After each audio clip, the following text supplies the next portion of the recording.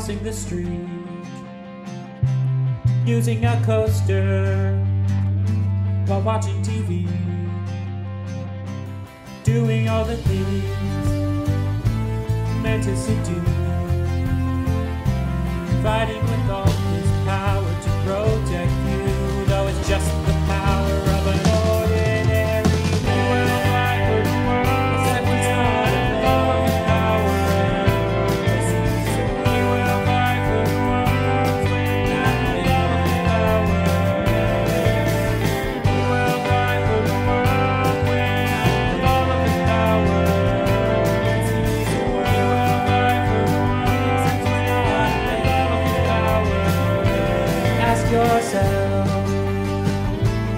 Does a man do that?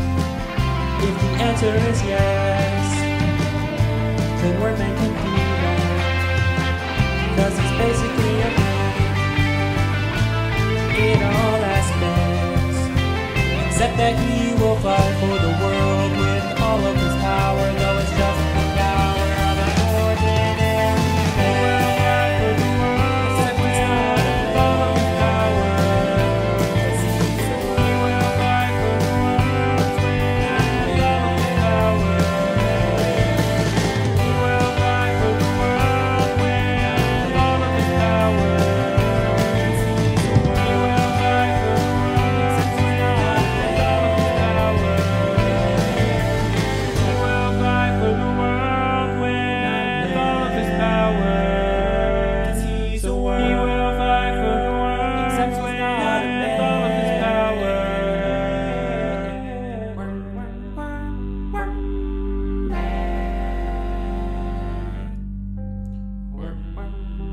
These were men.